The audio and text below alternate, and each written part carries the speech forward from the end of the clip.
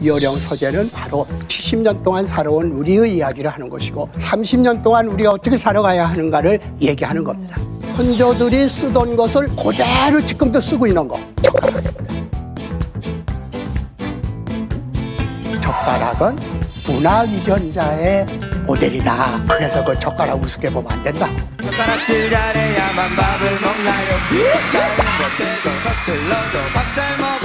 젓가락질을 못한다는 것은 전통이 끊어졌다는 걸 의미한다. 학습을 해야 되는 거예요. 젓가락은 문화적 전승을 해야 되는 것이.